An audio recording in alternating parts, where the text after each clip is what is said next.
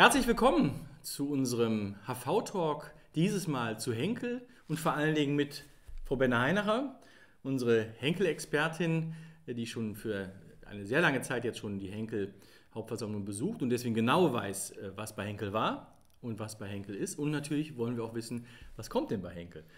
Und äh, vielleicht machen wir es so, dass wir direkt einsteigen, aber erstmal schön, dass wir das hier zusammen machen. Ja, vielen Dank, Herr Düngler. Herzlich mhm. willkommen. Mhm. Wunderbar. Also, ja, ich fange mal sehr breit an. Wie läuft es denn bei Henkel? Wie ist es denn gelaufen letztes Jahr? Ja, also man muss sagen, trotz der Pandemie äh, ist es eigentlich ganz gut gelaufen. Ja, wir haben beim EBIT äh, minus 23 Prozent, mhm. aber insgesamt äh, sehen wir eine robuste Entwicklung.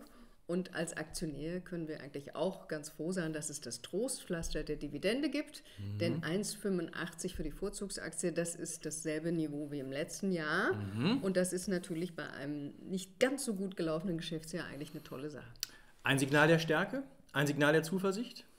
Auf jeden Fall. Wir liegen ja an der oberen Bandbreite mhm. bei der Dividendenpolitik. Und ich glaube schon, das ist ein Zeichen nach vorne auch, dass mhm. Henkel gut aufgestellt ist und auch die Pandemie gut überstehen wird. Mhm.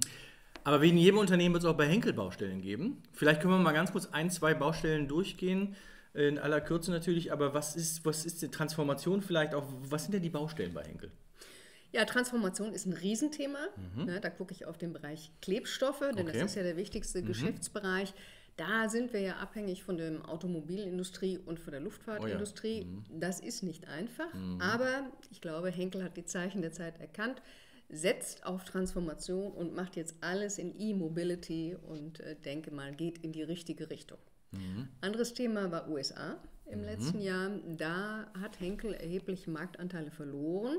Mhm. Aber auch hier besteht gute Hoffnung, dass sich das ändert. Das Management ist ausgetauscht worden. Okay. Da wird jetzt nochmal Gas gegeben. Mhm. Aber wir werden wahrscheinlich erst Mitte des Jahres mhm. wissen, ob es läuft oder nicht. Beautycare habe ich noch vergessen. Ja. Das ist so ein bisschen das Sorgenkind mhm. im Konzern. Da reden wir schon seit vielen Jahren drüber. Mhm. Natürlich haben die auch gelitten unter der Schließung klar. der Friseurläden, das mhm. ist ganz klar. Aber da gibt es noch andere Probleme. Da gibt es die Frage, brauchen wir so viele Marken, brauchen wir Diadermin, brauchen wir Theramet? Sollten wir da nicht ein bisschen mehr bereinigen? Mhm. Da wird es einen neuen Vorstand geben ab 1. Mhm. Juni und ich glaube, da wird auch das Ganze dann in eine andere Richtung gelenkt. Mhm. Aber wenn ich es zusammenfasse und wenn ich Ihnen zuhöre, heißt das ja, wir hatten ja die Kaspar-Rohrstedt-Zeit, die große Zeit äh, von Henkel äh, dann kam mal eine Delle nach unten und Van jetzt äh, mhm. ist der neue Vorstandsvorsitzende, der ja auch nicht erst seit gestern, sondern auch schon fast zwei Jahre wieder da ist. Da merkt man schon, der hat seinen eigenen Stil, seinen eigenen Weg, das merkt man. Doch, er kommt ja natürlich aus dem alten Vorstand, mhm. weil er ja Finanzvorstand mhm. vorher war. Aber ich äh, glaube, so wie ich ihn jetzt gesehen habe, ist er sehr down to earth mhm. und äh, weiß schon, in welche Richtung es bei Henkel gehen soll. Und ich glaube schon, Stichwort Transformation, dass natürlich äh, Digitalisierung da eine ganz große Rolle spielt. Und das ist mhm. ja im Moment das, was man auf das Pferd muss man setzen. Ja, interessant. Wir sehen ja viele CFOs, also Finanzvorstände, die dann in die Rolle des CEOs, des Vorstandsvorsitzenden wechseln. Äh, das klappt nicht immer, aber hier scheint es zu funktionieren und äh, das äh, freut natürlich. Mit dem Blick auf die Hauptversammlung, das ist ja der HV-Talk zur Henkel-Hauptversammlung, wollen wir nicht über das Operative sprechen, natürlich auch über die Hauptversammlung. Was über die Dividenden haben wir schon gesprochen, aber was erwartet uns auf der Hauptversammlung? Ja, also wie bei vielen mhm. äh, Gesellschaften haben wir auch hier die Billigung des Vorstandsvergütungssystems mhm. auf der Tagesordnung. Wir als DSW haben uns das genau angeschaut und geprüft mhm. und äh, haben festgestellt, das ist eine wesentliche Verbesserung des Systems zum Alten, im Vergleich zum Alten. Wir werden deshalb auch zustimmen. Und dann haben wir noch die Vergütung des Aufsichtsrates und des mhm. Gesellschafterausschusses bei der KGAA mhm. auf der Agenda. Auch hier werden wir zustimmen, denn die Höhe ist im Wesentlichen dieselbe geblieben. Mhm. Was wir auch nicht immer sehen, oftmals Absolut. wird der, der Schluck aus der Pulle genommen. So, jetzt haben wir über operative Themen den Erfolg, die Veränderungen gesprochen, über die Hauptversammlung. Zum Schluss, das ist Tradition, wollen wir auch noch mal sprechen, so was wir denn sehen, was Sie sehen, Frau Benner-Heinacher, auch nach vorne. Äh, die Aktionäre, wenn man auch auf den Kurs guckt, was darf man denn da erwarten?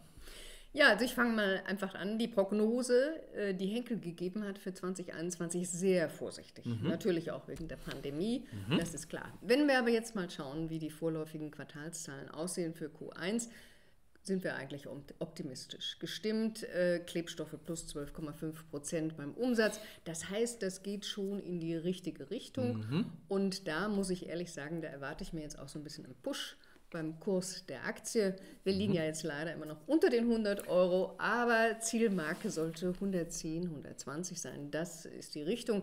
Und ähm, ich bin zuversichtlich, dass wir das in den nächsten Jahren auch mhm. erreichen werden. Sagt Frau Benne-Heinacher. Und äh, ich glaube, Sie haben auch einen guten Eindruck bekommen, warum Frau Benne-Heinacher das sagt. Und äh, ganz lieben Dank, das war sehr interessant. Wir reden oft über Probleme hier in diesem HV-Talk. Ich hatte fast den Eindruck, wir können jetzt zuversichtlich nach vorne schauen und Henkel managt das eigentlich ganz gut. Für Corona können die auch nichts, aber man muss halt die Krise dann auch managen können und auch das hatte ich den Eindruck, hat Henkel eigentlich ganz gut gemacht. Und in dem Sinne wünschen wir Ihnen äh, viel Glück und Erfolg mit der Henkel-Aktie. Ich sage herzlichen Dank, Frau Benheinerer, für den Talk hier. Vielen Dank, Herr Tüngler, und vielen Dank fürs Zuhören und Zuschauen. Tschüss. Tschüss.